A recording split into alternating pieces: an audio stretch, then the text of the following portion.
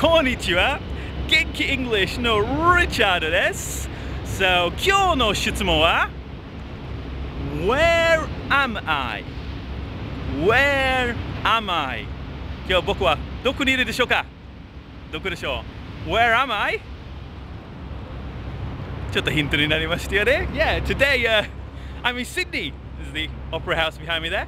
えー、すごい楽しいところですよ。もう来たばかりなんだけど、もうすごい素敵で。もしね、自分が行きたいと思えば、もしくは自分の生徒さんたち、あのもしくは自分が子供と一緒に行きたいと思えば、あの僕の友達があのこの自分のこの留学の会社作りましたよ。そして高校生がこっちで留学できるとか、親子留学、お母さんが子供と一緒にオーストラリアに行ったり、もしくはニュージーランドに行ったり、の友達がその会社作っていますので、ぜひおすすめですよ。僕の友達だからもう信用できるでしょう。そして自分でもこのような素敵なところを体験ができるんでしょう。ほら見て、すごいじゃないこれ。This is the bridge? At the Opera House across there?